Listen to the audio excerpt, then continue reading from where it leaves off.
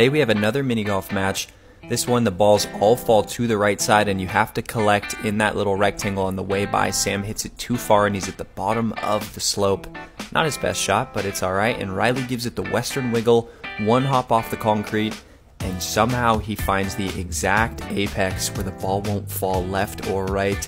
Pretty unlucky there, but he should be able to make that one. And Sam is going to make a really nice two from up against the wall there. That's a good shot. Can Riley tie it up?